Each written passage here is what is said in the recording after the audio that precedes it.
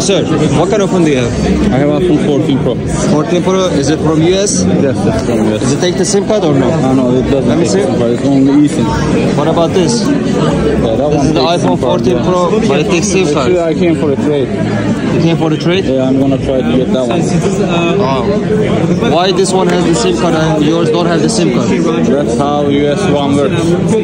Damn. They don't put SIM card. If you guys know why? Come and below.